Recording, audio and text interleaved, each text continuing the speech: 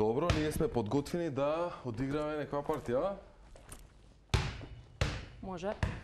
Загреана си? Ајде, Гоце, дали си ти спремен?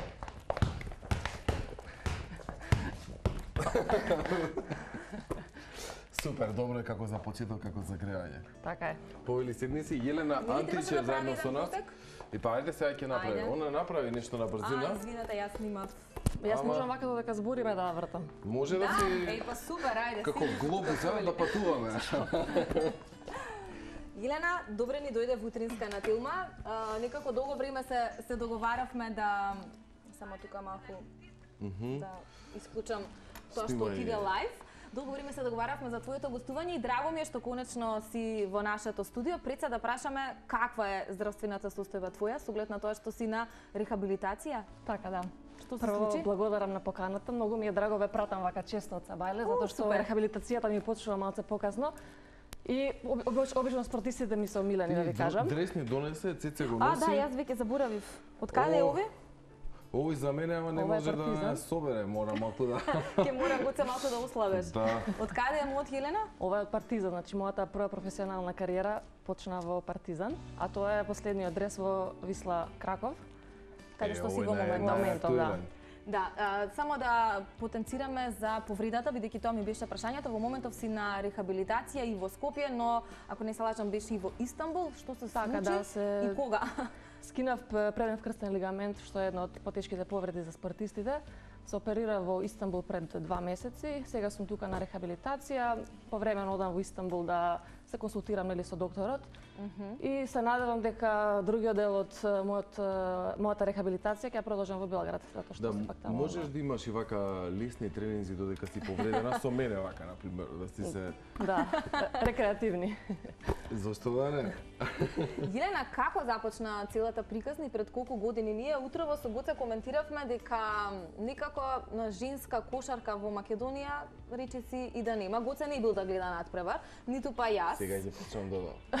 Ама не е, едноставно не е толку популаризирана како што се може би другите спортови. Како Јелена, ете во пред колку години ќе ни кажеш започна се и од каде љубовта за кошарката? Па, прво љубовта од кошарката започна мојот татко е е, бивши кошаркар, исто така и тренер. Мојата сестра исто играше кошарка, а јас почнав гледајќи ги нив, да кажам. Немаш избор. Не, нема избор, едноставно, мислам, одиш на тренинзи, гледаш и моментот беше ако немаш добри оценки не можеш да играш и онда и учиш и Нема и со кој си и така си. Па добро, и тоа стои, да. Тоа си стои да. Да, на 15 години замина во Америка, добив понуда да, шк- да се школувам во Америка и воедно да играм кошарка. Uh, значи јас не размислував за тоа, сега на моите родители тоа малце потешко им падна нормално. Тоа е само што наполних 15 години. Заминав таму, бев 5 години во средна школа Liberty Christian Academy. Uh, Продолжив на Универзитетот Liberty. Uh, Меѓутоа, а, после петата година, значи тоа е втората година на коледжот, ме фати некоја носталгија да кажам а, за Европа. После И- втората година? Да, значи бев три години во средната школа и две години на универзитетот. Реши да се вратам Европа и да започнам професионалната кариера тука. Што престојот во Америка промени кај тебе лично? Па видете, секој дете што ќе замина на 15 години, јас одраснав таму. Значи 15 до 20 години каде Во што еден сосема поинаков начин на и Да. образование и и образование и живот воедно, значи нов јазик, нова култура, нова храна. Обично вика сите што отишле таму дошле малку побуцкасти, накачиле некоја кило, меѓутоа јас не бев та- таков случај, што ми е драго да кажам. спортско дете. Па добри спортисти што отишле таму знаеле да се вратат, Знаат. да кажам, со некој кило плюс. Што не биле дисциплинирани. Можно е. И така решив да се вратам, меѓутоа тоа искуство во Америка ми се чини не би го заменила за ни за што за овој свет и да треба повторно да го направам, тоа би го направила. Можда година две покасно, меѓутоа тоа искуство што јас велам било кој спортист, мислам дете од помлада во- возраст ако има шанса да го направи, треба да го направи. Како се станува еве од женска популација еве успешна кошаркарка? Јас кога почнав тука кошарката беше на многу високо ниво. А, Играв од јуниорски младински категории до, сен, до сениорска. Имав 13 години играв сениорска кошарка со македонски кошаркарки, сега не знам колку се запознаени. Од Славица Димовска, Елена Петковиќ, тие беа ке мене во екипа, тие се стварно искусни кошаркарки, потоа србинки, бугарки, од, од секаде низ, е, низ Балканот и стварно напредував. Меѓутоа се најде тренер кој ме виде како потенцијал и талент и ми, да- ми, ми ја пружи шансата. Јас мислам дека тоа е најголемиот проблем и не само женската, туку и машката кошарка, затоа што мислам дека денеска спортот стана таков некој бизнис, дека се гледаат само Финансии. финанси и окей победи, да, меѓутоа развојот на играчот кога е млад не се потенцира толку многу, што мислам дека е главниот проблем. Да, да се популаризира што е можно повеќе, да биде по помасовна кошарката, кога е помасовна тогаш имате и повеќе избор, а и тренерот е оној кој што треба пред се да биде добар психолог и добро да ве насочи кон да го да го засакате спортот. Убаво кажа, тренерот треба нај- најпрво да е психолог. Значи не може со секој дете да се понашаш исто. Значи треба да знаеш што сака, што не сака. На пример, лично за мене Така да дерање не е на терен, да- мене тоа не ме мотивира. Ама тоа се лични фрустрации на човекот да си ги реши на друго место. Не, нормално е Не тренер да вика. Значи јас да се во, тренира. во Полска имав тренер што стварно толку викање во, во живо, мислам до сега не сум Не не сум осетила стварно. Меѓутоа е секој тренер различен. Сакам да кажам дека пристапот кон играчот треба да биде различен на, на тренерите затоа што се, секој индивидуа е различна. Елена вела дека е, кошарката во Америка и во Европа е различна. Е, колку има вистина во тоа и каде ти се гледаш повеќе? На кое тло? Ти спомена заради носталгија се врати на, на европска територија. Така да. Можда ми е жал за, зашто не останав на колеж, затоа што мислам дека да завршив Реално на имаше сезоната. големи можности за, Да. за тамо за развој? Да, значи мислам дека затоа што, бев една од подобрите во нашата екипа и се сметам дека можам да отидам во WNBA, што не значи дека сега не можам. Многу играчици од Европа продолжуваат таму, секако треба да си во врвот на европската кошарка. А, различна е кошарката, зборам сега за коле затоа што WNBA не сум Не си била, не, не искусила, знаеш, да. Ем, да, Европската кошарка, да кажеме, побрза. Време траењето на нападот е многу пократок, 24 секунди, таму мислам дека е 30 или преку 30 секунди, што се знае некогаш само додавање во круги. Брзо оди и толку е готово. И многу долго трае таму нападот. Кошарката, ми- мислам дека дозволуваат поагресивна кошарка во Европа, што е малце и чудно, затоа што американците знаеме колку се Да, тие поспремни. треба да се поагресивни Да, тие се пофизички спремни, меѓутоа мислам дека во Европа, знаеш, повеќе контакт дозволуваат. И тие се некои ситници, мислам дека, но кошарката е кошарка. Една топка, 10 играча, два коша и тоа е тоа. Како ја гледаш кошарката овде кај нас во Македонија? Моментално е катастрофа. И тоа ми е многу жал да го кажам.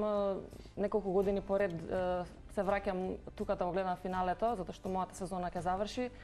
И стварно, мислам, нема што да се види. Тоа е на многу ниско ниво, не тренери без без волја, некако немаат мотивација, што е што е разбирливо. Јас не ги осудувам, знам дека, знаеш, треба и мотивација да Значи се на даде крајот на од денот си се сведува на финансискиот мотив, веројатно и поттик. Секако, како и све во животот. Мислам, на секоја работа треба финанси, треба сали. Јас како Сметаш дека имаме талентирани девојчиња кои што би можеле да успеат многу повеќе нели надвор од Македонија, само Сметам, да. Мислам, има девојчиња кои сум ги видела, има и помлади девојчиња што еве годинава сум тука, па ќе отидам на нека утакмица ќе видам, има талентирани девојчиња, меѓутоа тие ќе стагнираат ако нивото на, на женската кошарка продолжи вака.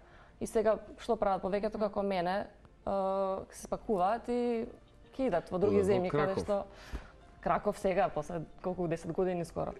како тргна патот Партизан потоа? Партизан, потоа бев во Израел, Макаби, Шпанија, Манфилтер, Романија, Шведска и Краков.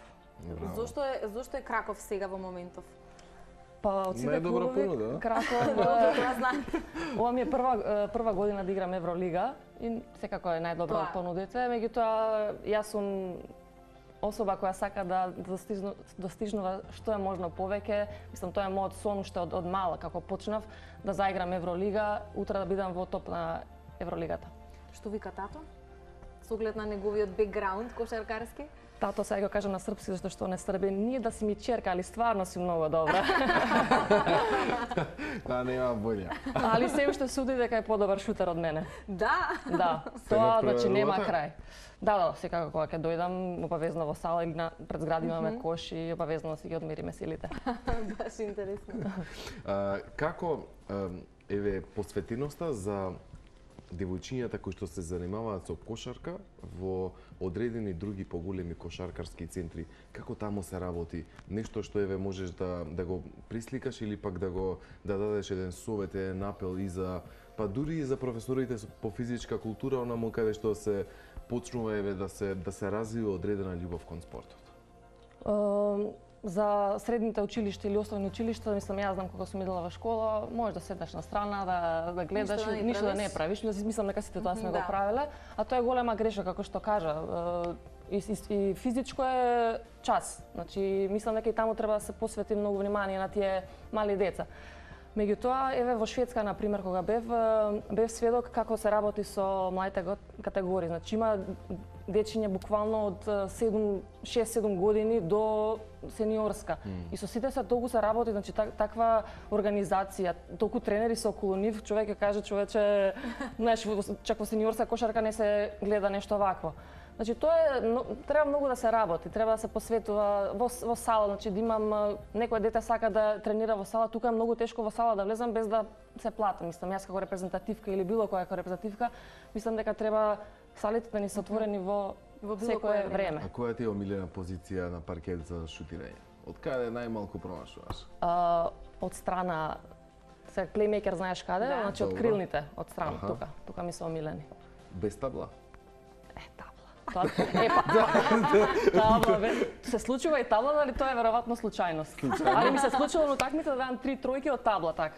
Јас викам, јас сум си ги вежбала овие, не се случајност. Таблата е секогаш на твоја страна. да. Милена, за кој навиваш? Каде во? Во Македонија или во Не, не, не, надвор, вака. Машка, женска кошарка. И од двете. Uh, ми се, машката кошарка лани можам да кажам многу ми се свигаше Фенербахче како играше. Оваа сезона нешто Перо Антич. Перо да, да, да разграничиме. тоа прашање значи Да. мораше да дојде. Не сте фамилиарно Не сме, поврзани. не сме. Само презимето, веројатно тоа е оној кошаркарски ген. Да.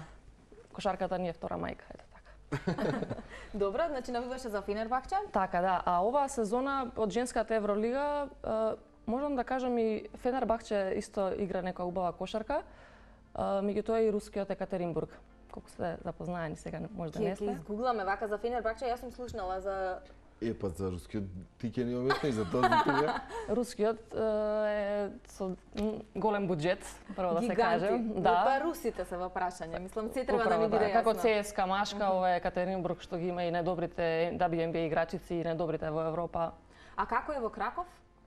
Во Кракове негде е, они испадна моментално од Евролигата, значи од првиот круг, меѓутоа има имавме, тоа дека јас бев и кога си отидов затоа што сум повредена, голем успех, значи сите такмици што ги одигравме иако бевме во најтешката група во Евролига, губевме по 3-4 разлика, што е исто и голем успех за нив.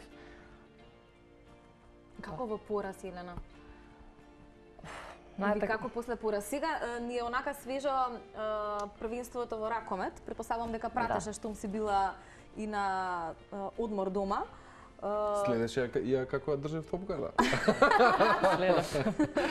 да, тоа му кажав неговите добро држи ракометарска, тениска топка, еве сега добро се снаоѓаш и со баскетот. Дома сега да не го верувам. заборавив прашањето. А, имавме на, нели еден надпревар каде што имавме навистина болен пораз, а во спортот се вели нели неминовни си и поразите и победите. Меѓутоа ете така во некоја во некој ептен важен надпревар кој што ќе го загубиш, како се справувате потоа тимски? Тоа е Знаете, ка- рехабилитација и за тоа треба рехабилитација. Е, поготово ако е меч каде што си дал све од себе, значи 100% искачаш од такмицата, исцрпен си и изгубиш, но од една страна тоа е некоја утеха. Да знаеш дека си го дал максимумот, едноставно тоа е некоја виша сила. Мислам, спортот е некој мора да победи, некој мора да изгуби. Меѓутоа, поразите дефинитивно не ги, не ги прифаќам така лесно или така тешко. Значи, тоа е лекција за следната такмица а, еве сега гледам сликата сега таму, тоа е во Шведска, значи една титула што ќе ми остане многу драга. Игравме со екипа која а, од почетокот на сезоната беше предвидена да бидат шампиони. И ние ги а, победивме со 3-1 во серии, е- во финале. е тоа сладка победа. Да, и таа една еден пораз што го имавме, го имавме е, пола кош е, пораз, меѓутоа игравме толку растеретено и дававме све од себе, беше као окей, знаеш, изгубивме пола кош, они игра утакмица на, на животот, што се вика, и не победија. Така да е, има некоја утеха ако знаеш дека си дал од себе, нормално ако не си дал све од себе, онда грижа на совест малте дека треба подобро да Имаш размислиш. одреден поен кој што за секогаш ќе го паметиш? Тројка некоја. Па не мора можеш и да двојка. Ој, Може и од табла да нема да се- Поен, Морам да кажам, не е дека не, да сум победила утакмица, меѓутоа во битни моменти кога сум дали јас а, сум повеќе асистенција човек, што тоа многу ми замерува затоа што кажува дека имам и солиден шут. Па Али добро, јас толку уживам во асистенција да дадам и повеќе се радувам на асистенциите во кариерава што сум ги направила него поените. тоа се најважни особини, тоа значи дека не сте не си себична. Мислам дека ти треба тренер да станеш. Добар психолог е. Стварно мислам дека Сум анализирал добро. Затоа што стварно многу ретко тренерите сега размислуваат така. Обично е кој ќе да гледа Да, статистика гледаат кој ќе даде кош. најмногу поени, тој го рачуна за најдобрите играчи. Зашто? За најдобра, а Да. останатите? А останатите Или што тој што време му додава, му парира? Така рече Мар, Марк Гасол кажа статистиката е убија кошарката. Тоа стварно е така. И така е. Да. Супер, Елена, ти благодариме многу. Супер разговор имавме. Гоце му предодреди што би можел да биде следно во животот. Да знаеш тренер што? Да, ги имаш тие спортски гени. Еве, да, Еј, можеш да го држиш во една рака. да пробам. Еве. Е, вака. Ама вака. Е, па види сега, не е секој предодреден. Види вака. Да. Илена, ти благодариме. Ние продолжуваме со останатите содржини, се разбира, вие останувате на Телма. Имаме